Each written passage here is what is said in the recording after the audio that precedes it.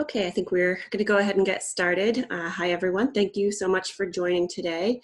My name is Kelly Van Beveren. I am a Senior Policy and Communications Associate at Achieve, and I'm very excited to welcome you all to this webinar on Achieve's new uh, framework for evaluating cognitive complexity in mathematics. And um, just a couple of logistical pieces before we dive into why we're all here. Um, you should be automatically muted as you join the, um, the webinar today. We ask that you please keep yourself on mute for, for, most of the presentation just to minimize that background noise. You are able to unmute yourself if, if need be, if you'd like to ask a question, um, but please, during the rest of the time, keep yourself muted. Um, you can also ask questions through the chat box, which I am just seeing there's a question in there about the phone number. I will um, send the phone number through the chat box um, shortly, but feel free to send in questions to the group chat throughout um, and we'll see those and our presenters will be able to see those and address them.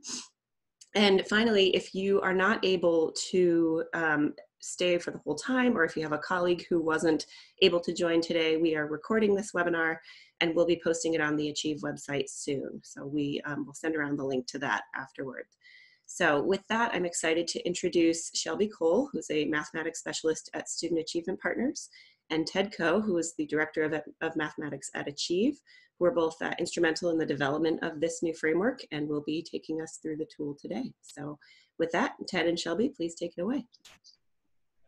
Hey, this is Ted. Can you guys hear me okay?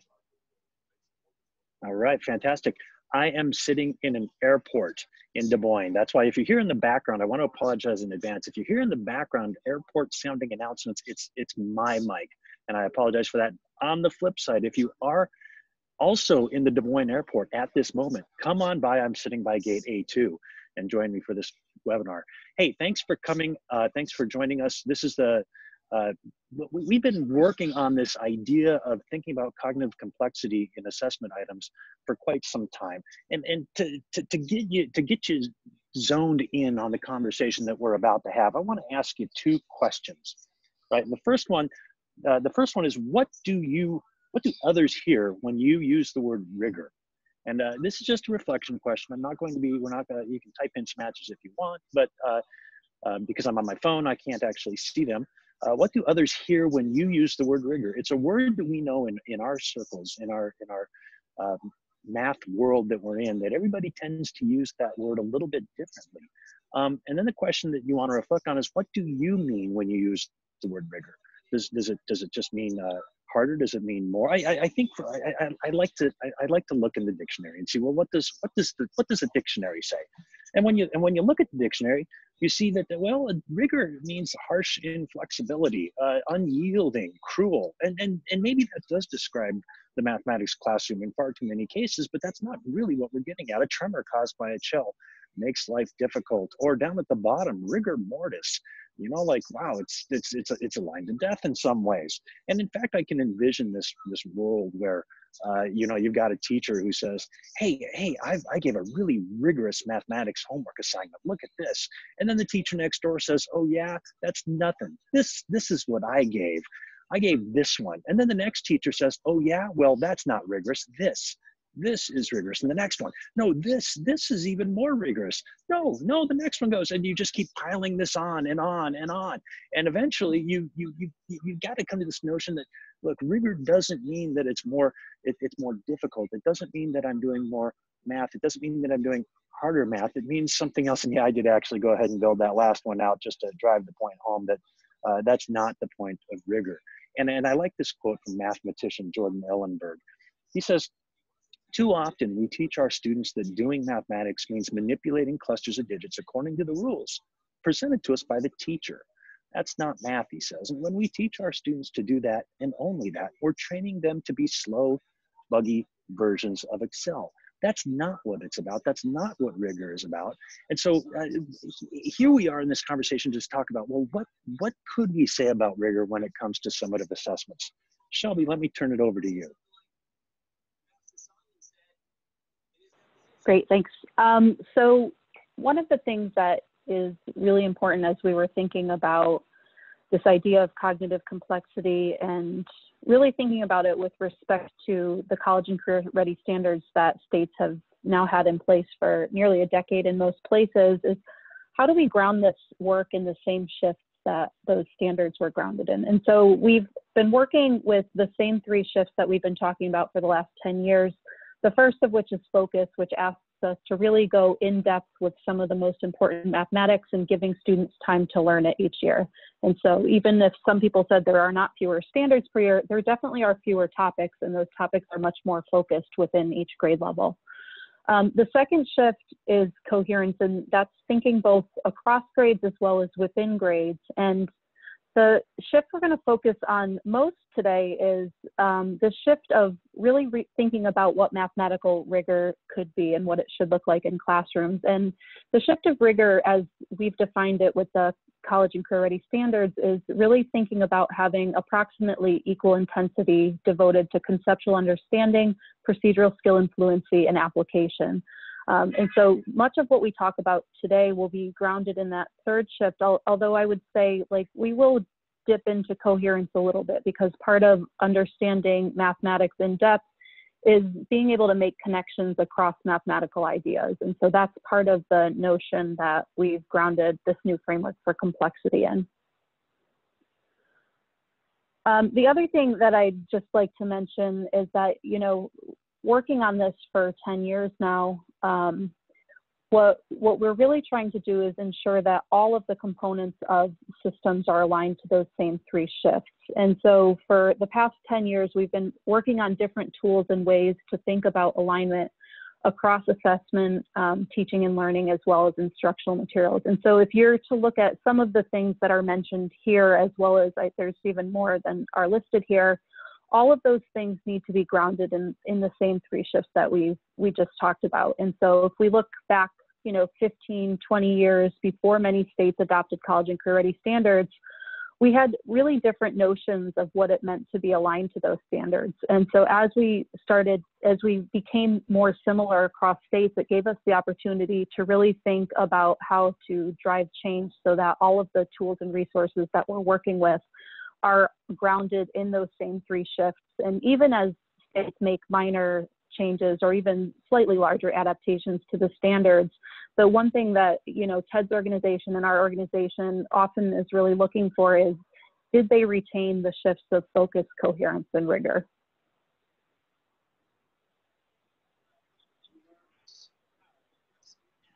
And we're going to start by grounding this conversation. You know, all of this work started um, in thinking about assessment. And so, Ted, I'll let you kick us off on that. Yeah, and, and another reminder to the importance of this work comes from the uh, American Teacher Panel that RAND convened. Uh, they, and, they, and they observed this. We also observed some differences in the aspects of rigor that teachers chose depending on the students they serve. Uh, they said that they're not conclusive, and I don't think they were in their study, but they suggest that teachers in lower income schools and those who have spent more years in the classroom could be focusing more attention on procedural skill and fluency compared to conceptual understanding and teaching standards. And so we see there, there, there, there are other issues and, and issues of equity and access that are embedded in this notion of rigor as we're choosing to look at it. So this particular work grew out of our, our attempts at Achieve to uh, provide statewide summative assessment reviews. Uh, so so for instance, uh, in this case, uh, the report that's up on the screen was uh, an analysis that we did on the alignment of the ACT to the Common Core State Standards. Uh, and, and you can go pull this up and, and if you want to see the, you know, how, how the story ends on this one.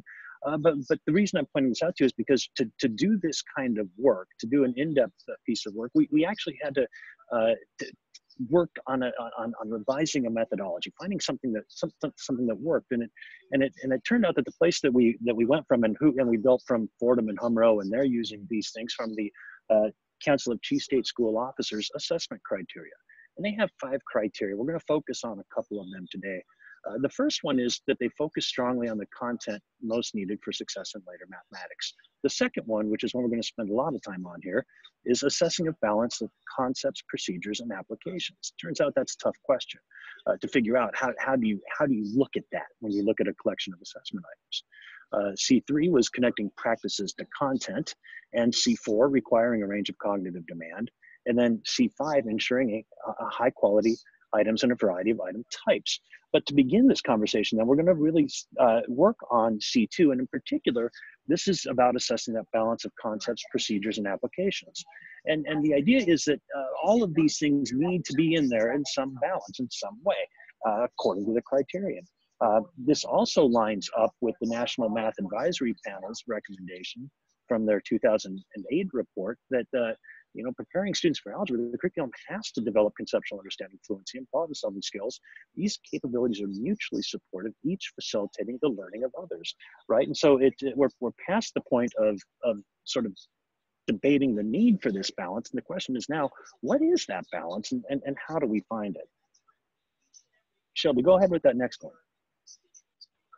Okay, great. So, um, you know, when when we first started this work, it's it felt like we had three categories, right? There's conceptual understanding, procedural skill, influencing the application. And so, you know, of course, I'm thinking, how hard can it be? You look at an assessment question, you throw it in one of the buckets, you move to the next one, um, which is is precisely what they tried to do when they um, when the Fordham Institute did an evaluation of four assessments: uh, Smarter Balanced, PARCC, the the MCAS, which is the Massachusetts State Assessment, and the ACT Aspire and they they were trying to classify items by those three categories to determine whether indeed the assessments were balancing on those three things. And what they found was that it wasn't so straightforward. It was really hard in some cases for them to say this is purely an application question, this question is purely conceptual, or it's purely procedural skill and fluency. Um, and so you see that in the final report, it said due to variations in how reviewers understood and implemented this, this criterion, final ratings could not be determined with confidence. So now we were in a, in a situation where we have five assessment criteria, one of which we weren't um, at that point in time able to really evaluate whether assessments were meeting it. And so this is when we started to really dig in to um, thinking about uh, these three aspects of rigor and how we could more effectively communicate through metadata what, what an item was measuring with respect to those three things. Um, so we started, we did a lot of exploratory work in, you know, we started the same way Fordham did, having people try to classify them just to uncover what some of the issues were with single um, category classifications. And right away, we saw people struggling to classify them and really surfacing some of the issues. And I'm going to pull up the whole matrix actually, because one of the interesting things was that there actually wasn't such thing as a pure application question because any mathematical application, which um, in this particular case in our work, we've defined very explicitly as essentially meaning word problems, that the problem is in a real world context. Whether you want to, you can argue over whether it's real, real world or contrived real world, but in any case, we have a very clear definition, which means that the problem is embedded in some sort of real world context. And there's a few people who didn't quite agree with that definition, but the nice thing from an assessment perspective is it makes very clear what's in that bucket. And so any question that we see with an application tag on it, we know contains a real world context. And from a design perspective, that's really good information as I'm trying to build a balanced test. Um, but from this, we learned that there was no pure application. Every problem that we looked at that had a real world context, and I guess I should say thankfully, also had some element of procedural skill, conceptual understanding, or both, because if you just have a context and don't have one of those other things, it's hard to imagine what you're actually doing with the mathematics. Um, the other thing is we looked at some work that had been done on procedural skill and fluency and conceptual understanding. And, you know, the, the challenge, of course, is that those things are not like, they're not two buckets. There's, there's sort of this continuum where an item can be extremely conceptual. It can be almost entirely procedural where the student has a, a sort of memorized known way to do it without a lot of thinking. And then there's, there's even more cases that fall somewhere in between. And so we needed a way to classify items that fell, you know, somewhere in between procedural and conceptual. And so that's where we get this middle category that either um, the question is is explicitly targeting both, or there are some cases where you have a item that maybe is intended to be conceptual, but we know that some students can actually um, sort of power through it in a way that's much more procedural looking. And so we defined for in this work um, we found we needed a very clear definition of what a procedure was, um, in part because I think people sort of have gotten used to classifying anything that's sort of low level complexity as procedural. And that's not exactly the case. So we wanted people to know that a procedure here, we're really thinking about a step-by-step sequence that can be memorized and executed without understanding or attending to me. So at some point, the students have a known way to manipulate the problem without really doing any, any thinking about it. Um, the other thing that we've classified into this bucket um, for in, in is there's a few um, standards that actually require students to know something from memory, and there's no clear place to put those. And so, because the shifts have sort of classified procedural skill and fluency into a single bucket, we've put some of those fluency um, and know those know from memory expectations in this bucket as well. Um, in conceptual understanding, we wanted to make sure that um, there are other things that can add to complexity, such as, you know, a poorly written item, right? So in this particular framework, the conceptual understanding that we're talking about is referring to the mathematics itself. If you have a poorly written question, like that should be, that's certainly something you should evaluate, just not as part of the, the work on on cognitive complexity that we're going to talk about, which we want clearly grounded in sort of the mathematical ideas.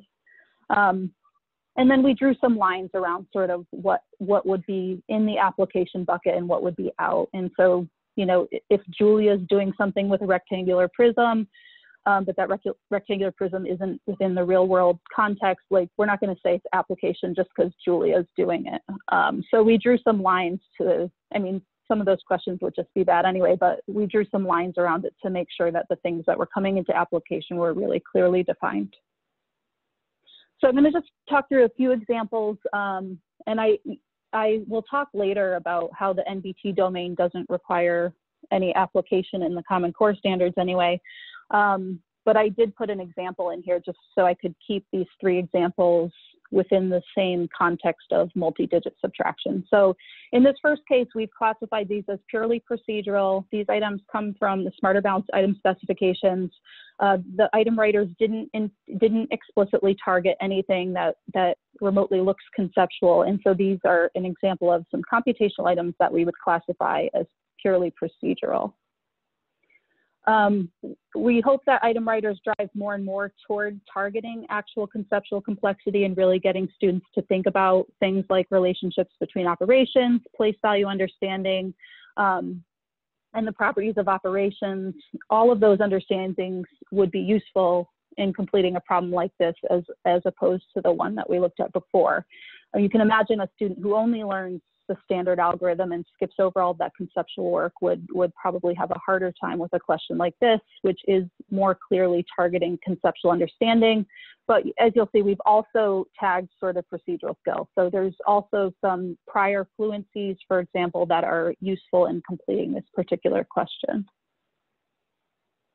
And then here's an application example. Um, this particular example also um, requires some conceptual understanding as well as some procedural skill and fluency. And so here we've highlighted all three. Um, in the cases where all three are highlighted, we sort of we, we, we sort of think of application as sort of the lead aspect of rigor. It's an application problem that also requires students to draw on conceptual understanding and procedural skill and fluency, but it's useful to know the full profile of the questions so you really can think about the idea of balance um, as you're building a test and think about those things more holistically. So just to talk specifically about the NBT progression um, and why sort of rigor, this conversation about rigor matters.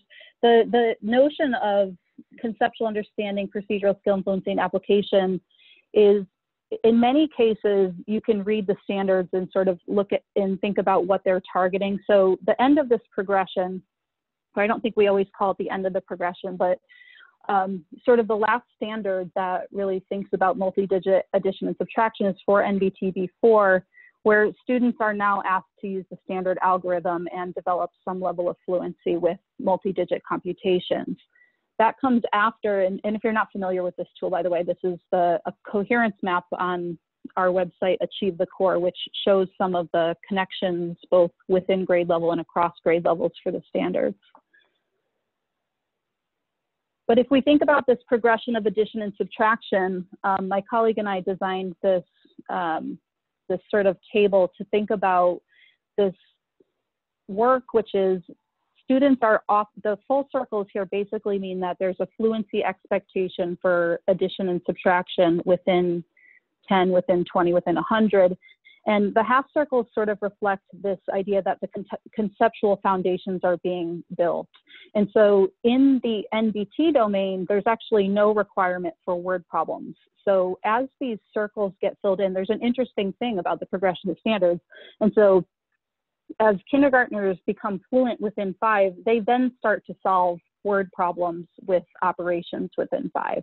So as the fluency expectations are sort of reached, then we start to talk about word problems that leverage those numbers so that we're increasing the what students have already built conceptually and now are getting to some level of fluency. Now we're introducing word problems. And so there's a very specific progression within the standards that ensures that we're not trying to do too much all at once. And so it's, it's really important to pay attention to what the actual standards call for and make sure that we're leveraging that as we design assessments.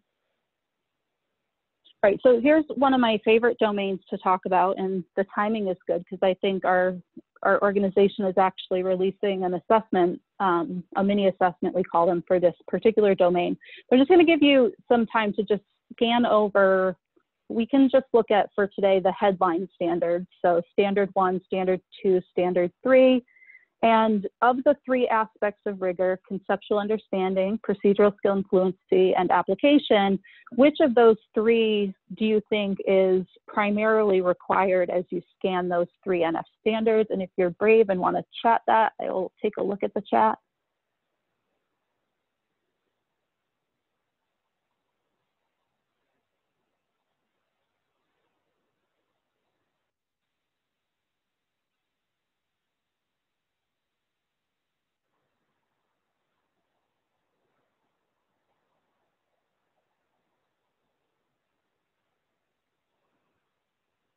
Oh, Carol's here. Hey, Carol.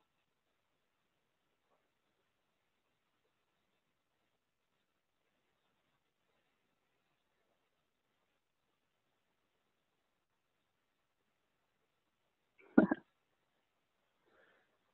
right, I have two conceptuals. If we can get one more person to weigh in.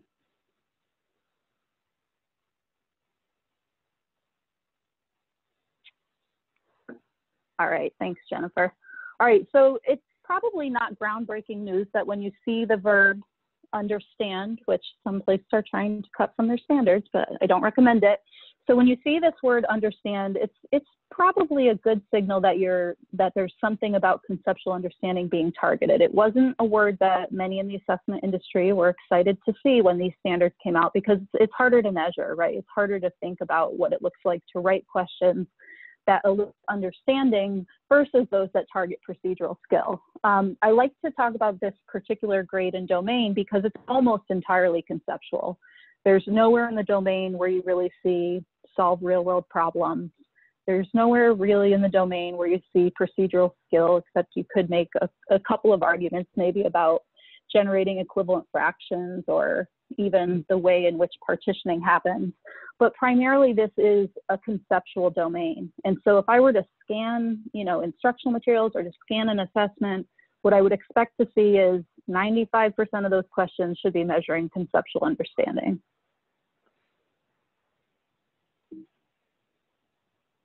Maybe 100%, but I give people 5% of freedom. Um, so let's take a look at, and these, these are two questions that will be, that are from actually the mini assessment that we're gonna be releasing hopefully this week, but I don't, I don't remember the exact date. Um, just take a look at those from a mathematical perspective. Um, it's probably an easier task if you know the three, grade three standards really well. Um, but I just want to think, want you to think about the mathematics that you need to answer each of these questions, and we'll come back to them later, so we don't need to chat about it yet.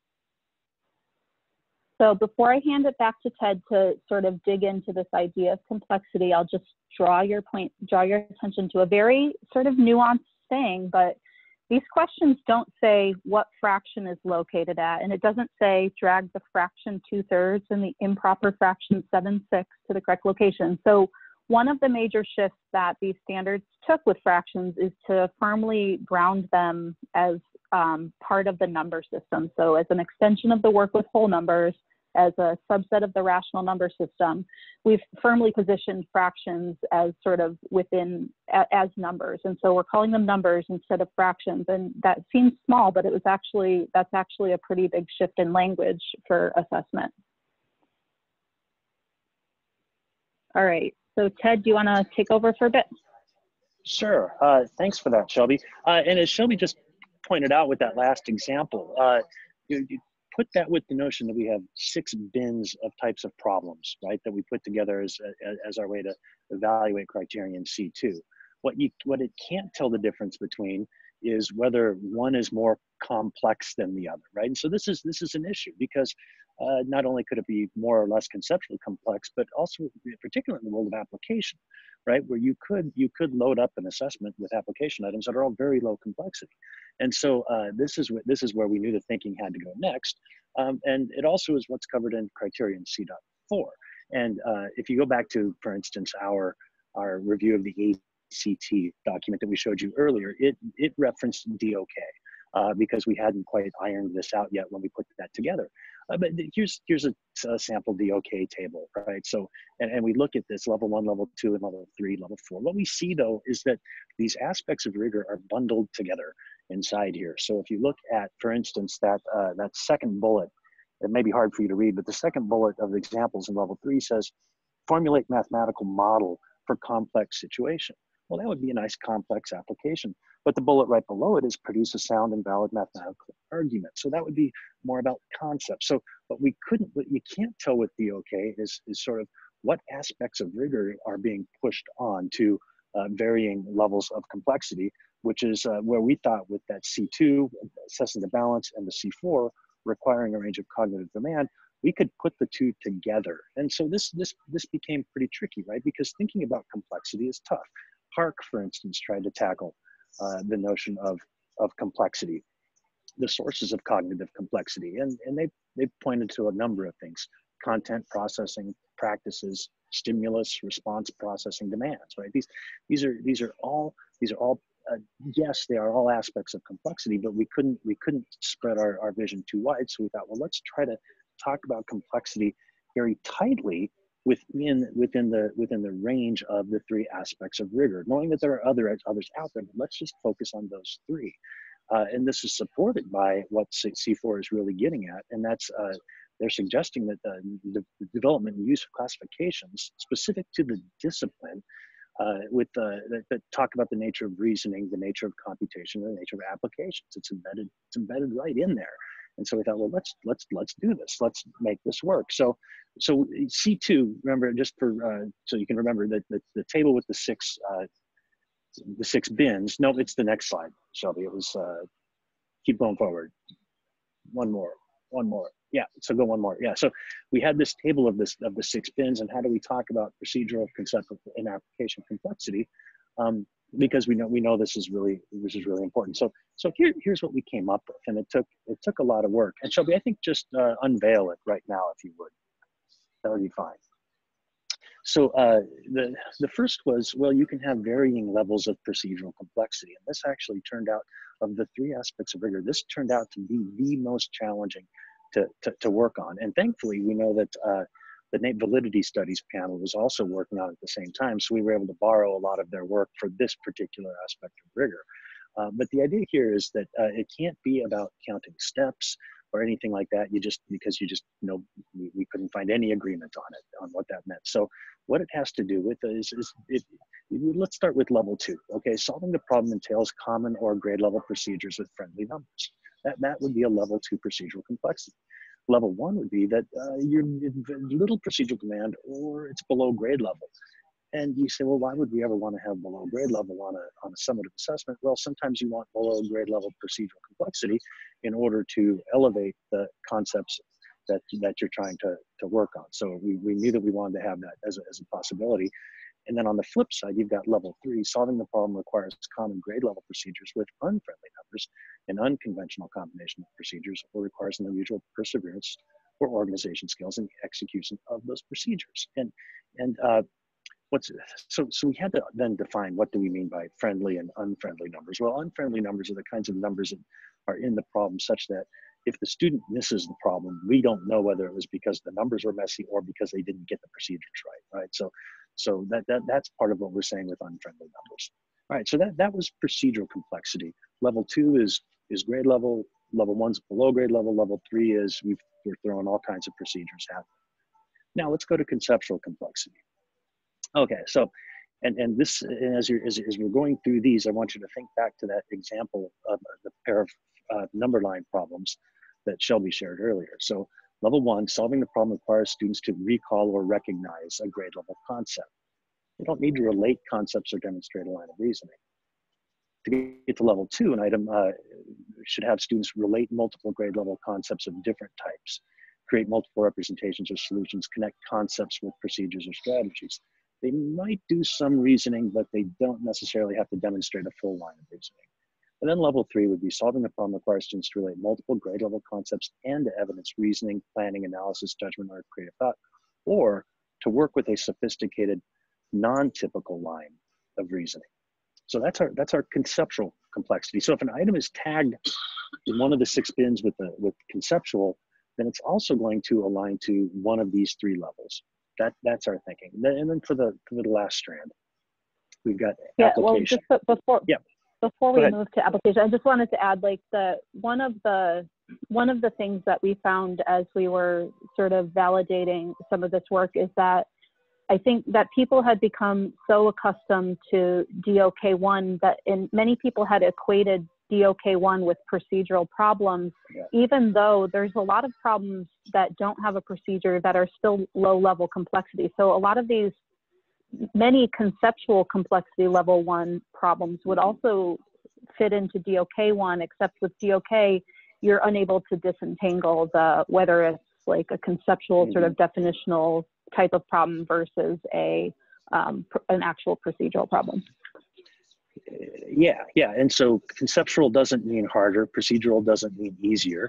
Procedural doesn't mean bad, and conceptual meaning good. None of none of that's alive in this document at all uh, application complexity, the way that we want you to think about this is think of it as a continuum to modeling, right? So modeling requires some real world context. That's what this is aiming along. Uh, that's that's a requirement to even open up application, as Shelbi mentioned earlier. Level one is this type of this type of word problem where the mathematics that you need to solve the problem is directly indicated or obvious, right? It's just it, it tells you, right? John John had three apples and he added five apples. How many apples does he have now? Right? You didn't have to you didn't have to do any extracting from the context to get the mathematics. Level two is uh, it does require you to interpret the context and determine the procedure or concept.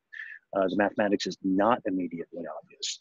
They have to do some uh, decision making. Level three, with regard to the application, level three is, and in addition to that, uh, interpretation of the context, they also have to move more toward the full modeling process. So recognizing features, formulating, computing, and interpreting results as part as part of a modeling process. Um, so, so those are our three, and they all live together in a single chart, which I think we have on the next slide. And it's also in the uh, PDF version of the of the document. We'll share that link with you later in the chat. Uh, now, now with that, let's go back. Let's go back to Shelbi's example of the of the pair of problems, and now now you have a new sort of way to think about what these might look like. Shelbi, go ahead. Yeah. So as we think about these problems through the lens of what third graders are actually doing, the first one tends um, leans toward a very definite definitional um, fraction question. The fraction is defined in third grade as what partitioning of a whole and sort of the number of equal increments. And so it's the third, it's on the third mark. If I count them up, I think there's eight. And so I can write three eighths using the way the definition of fraction is developed in grade three. Um, the second one, on the other hand, uh, there's probably multiple ways to enter it. But the first thing that will be shocking to students if they've only learned sort of a that definitional framework or a very, or even a very procedural way of thinking about this partitioning is why is one third on the second mark? You know, so they might be so accustomed to seeing one third after partitioning into thirds that they forget that one third is this fraction, which is a number, which is equivalent to other fractions. And so they can enter it by maybe thinking about this idea of one third being a distance from zero and locating two thirds. Um, they might think about it by saying, all right, well, I have one third, but it's on the second mark. I might want to re rewrite that as two six so that I can then identify where one six is. So there are multiple ways to do the problem, but it's not really the multiple ways necessarily. It's the integration across standards. And so students can think about this in multiple ways, but it's really thinking about content that exists across more than one standard. And so um, part of conceptual level two, one way to reach conceptual level two using this framework is this idea that students do have to integrate ideas from multiple um, standards or even domains. Um, so I think we're going to share a, just a few examples. These um, our colleagues at NWEA were sort of the first ones to use the framework um, in a very intensive way. They've they've tagged a, an item bank of I think over 10,000 math questions using the framework, and also as part of that process generated an extensive document to um, to keep inter-rater reliability on the coding process um, as tight as possible. And so they have very specific decisions about what is called one of the one of the things that they did. I think this is a procedural level two, and one of the things that they did to ensure reliability within their own tagging system was to clearly define sort of which operations and how many digits would be considered procedural level two, which you might remember is grade level procedures with friendly numbers so at each grade level, they can clearly identify which things they're going to classify as procedural level two, because at some point this problem would become procedural level one, right? So if students have, if this is now a year, a year old or a year out of how they've identified it, students have been working with it long enough that it would be classified as a procedural level one and eventually might not be classified at all. Um, but for third grade, it's aligned to this standard. It is considered a procedural level one, or sorry, procedural level two question. So the only thing I would say is that it, before you leave that problem, is eventually it is not a procedural question. So for an eighth grade student, we wouldn't consider it, uh, we wouldn't rate it as a procedural item. Well, if you listen to the recording, you'll note that I did say that actually. Oh, did you? Okay. um, so you can contrast that with this question, which we showed a similar one earlier, which does require students to draw on some of the other things in standards. So although this is a fluency standard, in third grade, students are still using strategies and algorithms that are grounded in ideas of place value properties of operations and relationships between operations. It's a conceptual level two because of the reasoning required to complete the question, and it also ties ties closely to some of the procedural skills that students are still working on. Um, and so they, they've not only classified these items, but they have identified at the bottom that this standard within our pool will sort of have a balance of those questions. We'll have, a, you know, about half will be procedural level two and about half will sort of focus on some of the conceptual elements of the standard. So it gave them a really nice way to think about their pool through the lens of um, rigor and, and complexity. Um, here's another example. This one is a, um, an application level one, conceptual level one. It's application, again, because it's in a context that uses lemons and Rita. Um, but it's classified as a conceptual level one. And these are, these are fairly rare. Um, often application problems do have some procedural skill and fluency, uh, but there are a few standards, I'd say maybe one to two per grade, where you might see this, this combination of application and conceptual, where students aren't actually asked to execute any computations or other procedural skills. And here's an example of um, a more common type of question, which is an app, which is an application with procedural skill, which we, you'll you'll see much more of. And I guess that's another interesting thing is that these things aren't intended to be equally distributed. They're intended to be in line with what the standards ask for. And so lots of times application problems will be paired with procedural skill fluency. So if I'm looking just at the metadata for this and I don't read the question, um, reading that it's an application level two will tell me that students do have to do some sort of formulation, like it's not going to be clear just from reading this problem through once what, what they're expected to do. The procedural level two will tell me that the skills within the problem are at grade level. And so there, as Ted mentioned earlier, there are times where you'll, where you'll see application level two and procedural level one. And, and in many cases, that's fine, right? If I'm doing a perimeter problem in the first place where perimeter comes up, I might draw on some procedural, um, some computations that are below grade level because my emphasis is on this new concept of perimeter. And so it's, it's, it's entirely fine for procedural to be at level one, but not if it's by itself. If it's by itself, if it's just procedural, we want to see those at level two, indicating that they're at the right grade level. So the other neat thing that um, NWEA did was to really think about rigor at the domain level. And so um, you see some interesting things if you look at this. One thing you'll notice on the left is what I mentioned earlier. The NBT domain doesn't require any application. And this was a place where NWEA is moving toward a pool that doesn't have any word problems. And so they'll be able to send a very clear signal if they ever just decide to report an NBT score, we'll have a very good idea of what that means. I know that it's strictly focus on mathematics that is conceptual and procedural and that the students didn't see any word problems, which is consistent with what the standards say in this case.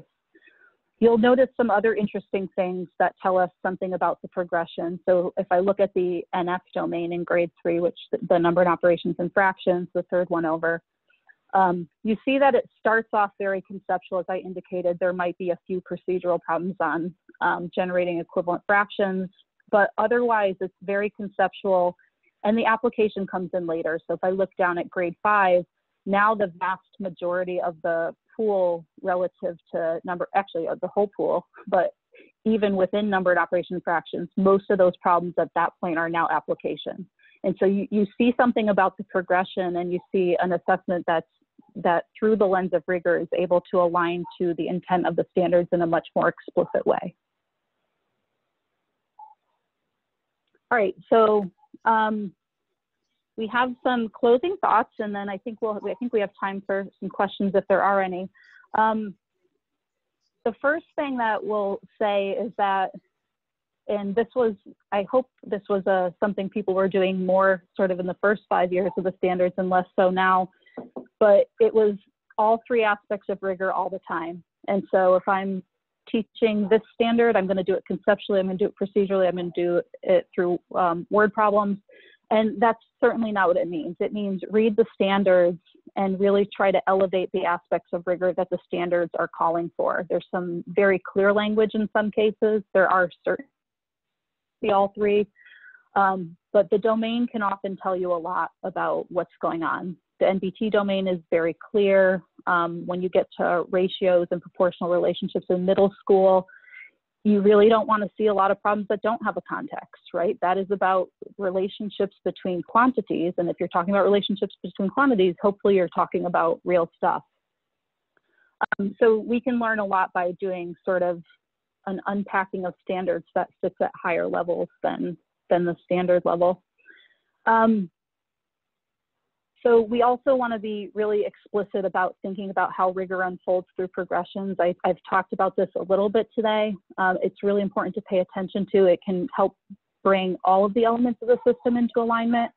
And quite frankly, like if we were more clear in cases where it is clear, if we just say things to teachers like, you know, the grade three number and operation fractions domain is really conceptual. Like it, that means if you're doing work that looks procedural or you're doing a lot of work with word problems, you're probably out of alignment with what the standards are asking for. And I don't take a hard stance like never do those things, but if you're doing it like frequently, like you might want to question whether you're in alignment to what those standards called for. Um, and then the other thing, and, and this is something we've sort of grappled with a little bit, but at least from an assessment perspective, the highest levels of conceptual and application complexity, we wouldn't call an assessment at grade three unaligned if it didn't reach those. And so grade seven, because of looking at progressions and really thinking about sort of content and when, when ideas get integrated and when we're close to that full modeling cycle at high school, grade seven seems like a prime place to really start hitting the level three complexity with application and conceptual understanding and and that isn't saying like that we should never engage third graders in a task in the classroom that does some of those things. You know i think i think that's fine. But if we were doing an alignment study for an assessment we wouldn't call a third grade assessment unaligned because we didn't see something that was close to the high school modeling cycle for example. Um, so those are some closing thoughts. Ted did you want to add anything? I, want to just uh, remind folks also that even though the examples that we used here were uh, primarily down in the lower grades and third grade, that the conversation that we're having translates exceptionally well into high school as well.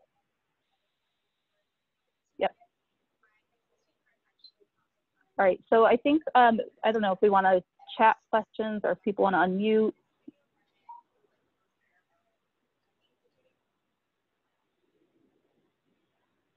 Or I think we need to chat the link too, don't we, test Somebody? Yeah, Kelly, if you can put that in the link, that would be helpful.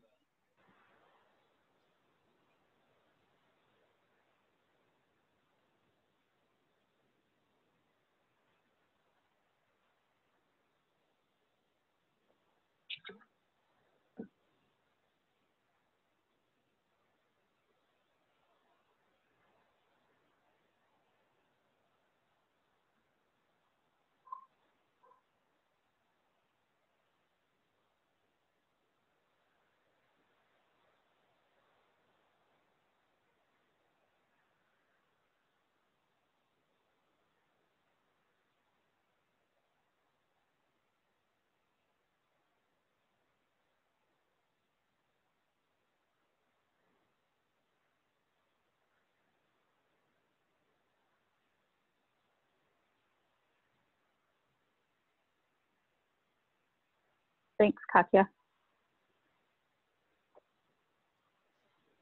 I will just make a quick plug for while folks are thinking about whether they have any questions or follow up. Um, we have an additional webinar on the science cognitive complexity framework. If you have colleagues who might find that useful, um, that will be held next Thursday, the 21st at 2 p.m.